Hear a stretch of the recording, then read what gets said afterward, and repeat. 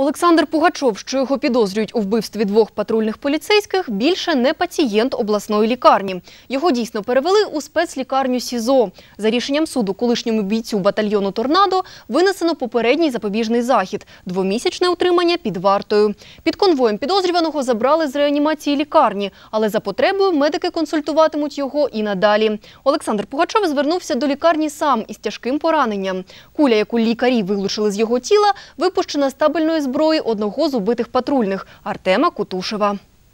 Хирургическая помощь ему больше не нужна. Он идет на поправку. Давление 120 на 80, гемоглобин 140, пульс 75 ударов в минуту.